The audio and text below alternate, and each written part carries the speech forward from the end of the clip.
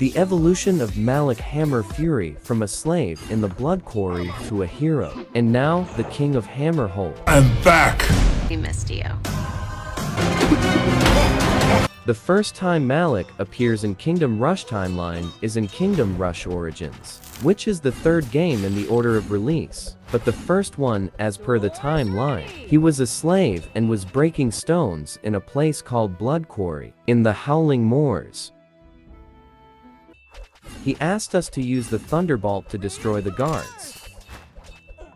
And we saved him, and he helped us to destroy the enemies in the Blood Quarry. Malik was really helpful in Blood Quarry levels as the enemies were approaching from three different areas, and we had three gates to protect.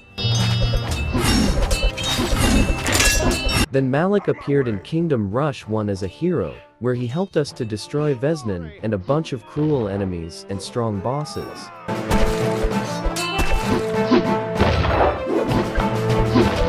And now, we are finding Malik as the King of Hammerhold. He is the main boss of Hammerhold campaign, and from the trailer, we can see that he is an arrogant warrior who has a big mouth, and a lot stronger than before. Let's see what else Malik will show us once the game is released. And glory! Thank you for watching.